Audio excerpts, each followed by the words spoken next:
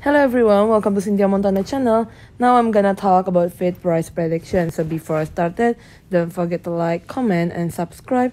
I'm not a financial advisor. I'm just gonna give you some prediction using a technical analysis. So now on the one week chart like this also still on the sideways places, not overbought, not oversold for the RSI stochastic natural position here. We're gonna go Bollinger Band here, try to push it to the pink one side. Middle band 0.0734 US dollar, right? We're gonna go move to the daily chart basically it's already like five days having a pumping up above the upper band. Also here 0.055 us dollar.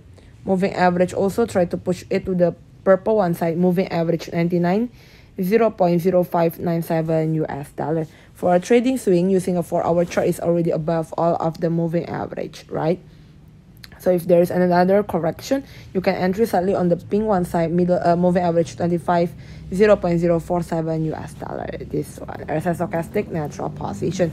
Thank you everyone for watching this video. Don't forget to like, comment,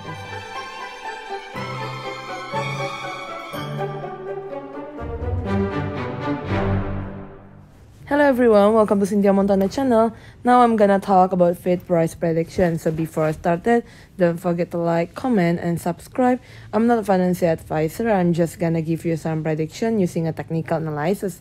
So now on the one week chart like this also still on the sideways places, not overbought, not oversold for the RSI stochastic natural position here. We're gonna go Bollinger Band here, try to push it to the pink one side. Middle band 0.0734 US dollar, right? We're gonna go move to the daily chart basically it's already like five days having a pumping up above the upper band. Also here 0.055 us dollar.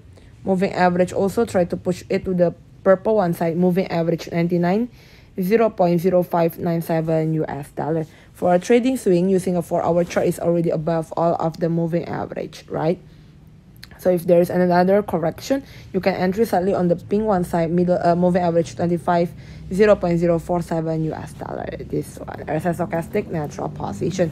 Thank you everyone for watching this video. Don't forget to like, comment.